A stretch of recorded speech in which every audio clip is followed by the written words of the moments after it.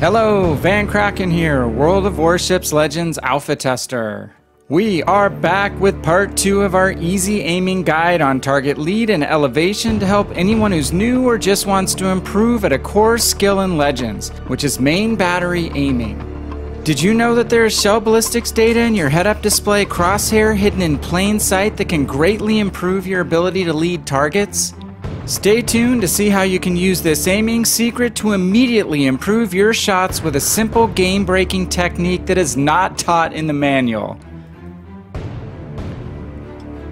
Nope, just kidding, there is no manual. But if you're a new or casual player, you might be thinking that learning to aim and lead targets in World of Warships is more of an art form than a science. And certainly, with simply enough practice and training, you will improve your hit rate over time just through repetition, even when you wing it most of the time like an artist painting with a broad brush. However, there is an awesome source of data hidden inside the targeting crosshair that can take average players to a much higher level of success with their main battery guns by using a defined technique and not just their gut. To learn how to use the crosshair with confidence, it's going to get just a little bit technical in here. So let's quickly break down its component parts so we know our way around. The reticle in the center of our crosshair is our aiming point for firing our main battery guns, and below it is a dynamic reload timer that tracks when they are loaded and ready to fire. The horizontal aiming line is our means of lining up our targets with our reticle and is divided into equal sized segments that help with leading moving targets that we'll call tick marks. The aiming distance to the right of the reload timer tells us the range to the aiming point targeted in our reticle and provides data about how that matches up with the actual distance to an enemy ship which is listed by the ship's own icon. And finally, the shell flight timer, which is possible to miss, lists how long it takes shells from your main battery guns to hit the point that your reticle is currently aiming at. So great, we have all of these cool tools to spice up the HUD, but what does it all really mean beyond providing some fancy window dressing? To answer that question, let's apply the crosshair elements we just reviewed to a quick aiming sequence that dramatically improves main battery hit rate, making leading targets predictable and data driven versus just shooting from the hip. Step 1 is to lock the target by either placing the reticle over it or selecting it with the RB R1 button on your controller to highlight it with the gun sight over the ship's icon. Step 2 is to zoom into your target with binocular mode using L2 LT on your controller. I always stay in 1 times magnification and don't zoom in further by clicking the right stick, as having a broader field of view is almost always better than being too tunneled in especially for fast moving targets like destroyers that need a bigger lead. An interesting sidebar to highlight here is that while there is no true auto aim in Legends, you will get a kind of aim assist when you zoom into your target that typically puts your reticle in front of your target's general path of travel. However, while this suggestion is a good starting point, if you read the direction and speed of your target with your own eyeballs and make fine adjustments, you can dramatically increase your hit rate over just zooming and firing blind. We actually covered reading target speed and direction in our Easy Aiming Guide Part 1, so check that out when you have a chance if you want more background detail. Now back to our aiming sequence, this leads us into key step number 3, which is using real data provided by the crosshair to dial in the position of our reticle with the right stick before firing, giving us more precision. We'll show you how to do this in just a second. Then finally, only with our target locked and our aim honed in, we'll pull the R2 RT trigger to fire our main guns in step 4 and land more shells. The data from the Crosshair shell flight timer automatically adjusts for guns of different calibers, handling, and shell arcs. So it's a true game changer and key concept when it comes to accurately leading a large percentage of the broadside targets you will encounter in Legends. In the simplest terms, we're going to fire our guns after putting a specific number of tick marks between the centrally located reticle and an aiming point on target ships traveling at full speed and at a roughly constant distance from our ship. Now let's show exactly how this works. For a ship traveling at 30 knots of speed, which is the average full speed for a lot of cruisers and some of the faster battleships in Legends, the relationship of the shell flight time to tick marks is virtually 1 to 1. Therefore, the lead in tick marks from the reticle to a middle position on the broadside enemy ship traveling at full speed will be equal to the number of seconds on the shell flight timer. In this particular example, we are in Helena looking at a target Zara's midship section which is 5.8 seconds of flight time away, with the enemy ship at a range of 8.5 kilometers and moving at a flank speed of 31 knots. So we put 6 tick marks, the same value as the shell flight timer, between the reticle and target along the aiming line for consistent shell strikes. Average speed battleship targets like Nagato or other ships with a flank speed of around 23 to 25 knots will need to be led about one quarter less, or about 0.75 tick marks per second, which is equal to 4.5 tick marks from the reticle to target along the aiming line in this case.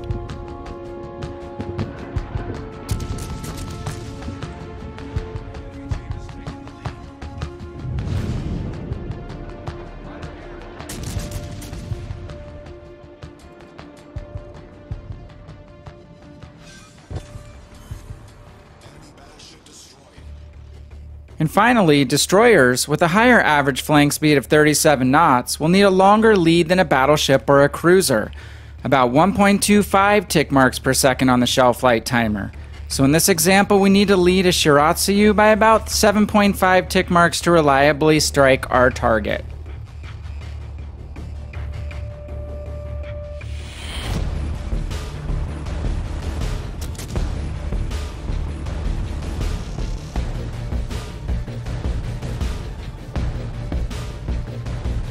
You will find that a large percentage of your targets in an average game are somewhere between 3 and 9 seconds of shell flight time away from your ship's location.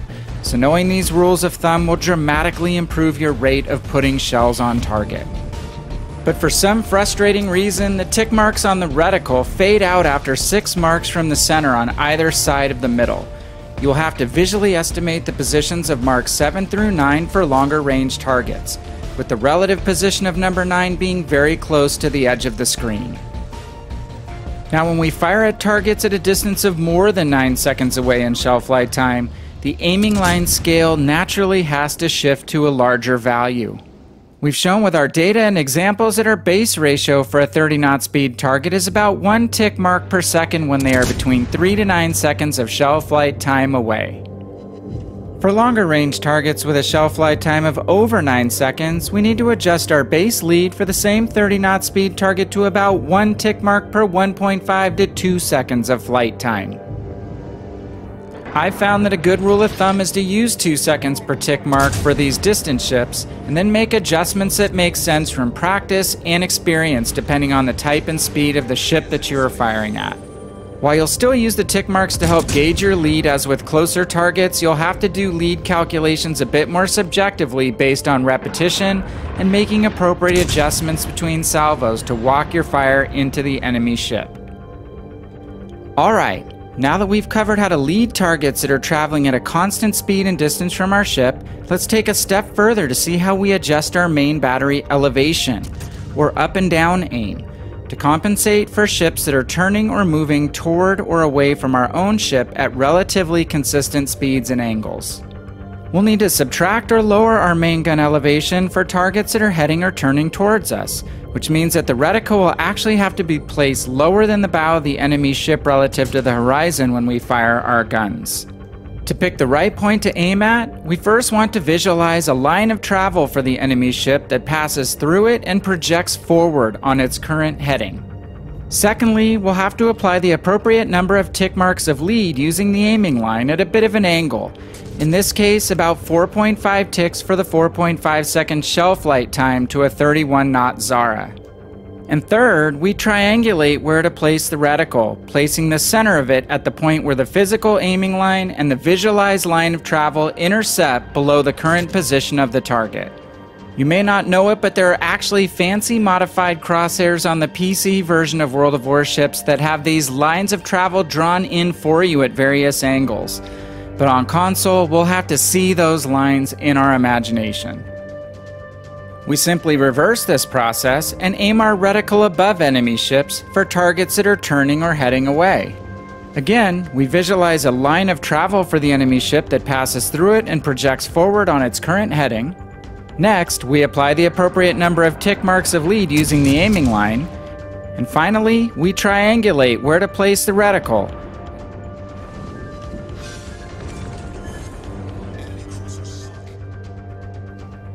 There's one final bonus topic related to gun elevation that we want to cover. It's a common question about what part of the hull to aim at on targeted ships.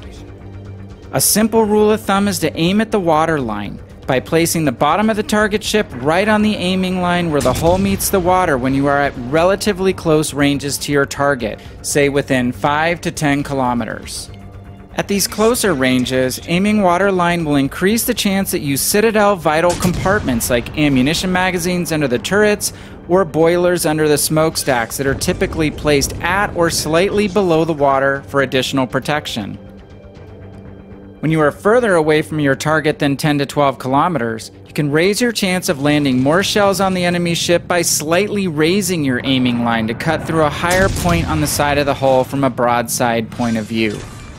The reason you want to make this elevation adjustment is the impact of RNG error, technically known as lateral dispersion and vertical sigma, that causes your shells to spread across a wider and taller area as you get further from your target.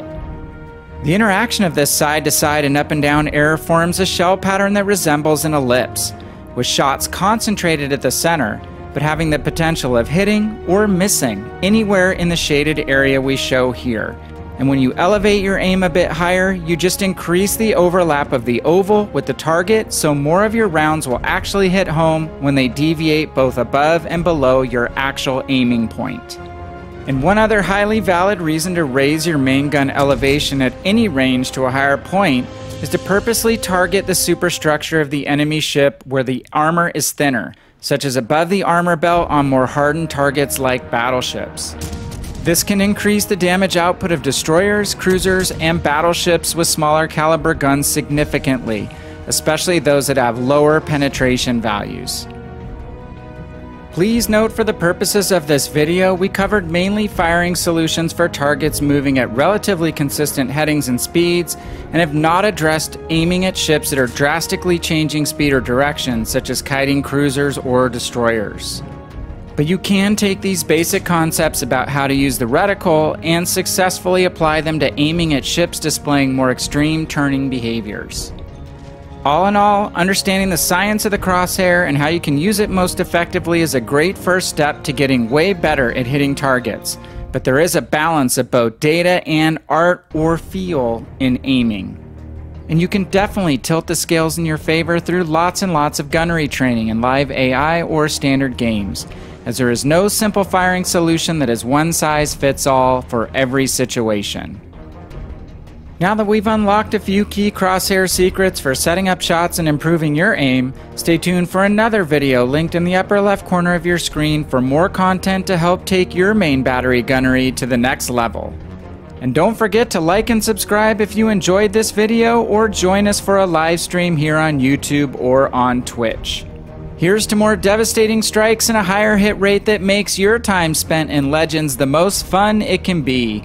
This is VannKraken. I thank you for watching, and I am out.